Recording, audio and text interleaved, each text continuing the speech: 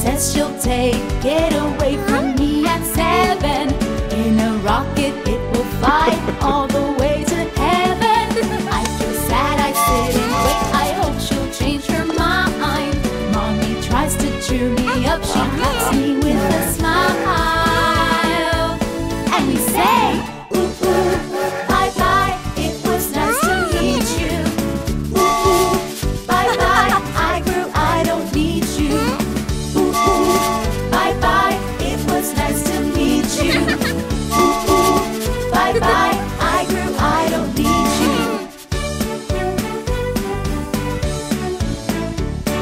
don't want my pacifier.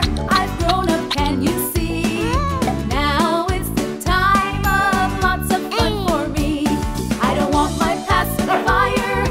No, not anymore. It's time for new adventures now that I'm big and strong. Mommy says that now I grew and don't need past.